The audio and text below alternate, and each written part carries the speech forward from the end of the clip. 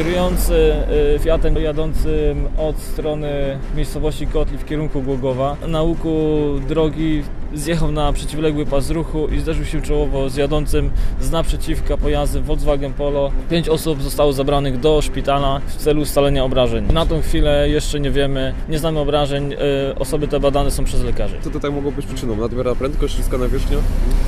Na tą chwilę ustalamy. Droga była bardzo śliska, także trzeba było dostosować prędkość do panujących warunków, ale na tą chwilę jeszcze nie chciałbym się wypowiadać, y, co było przyczyną zdarzenia.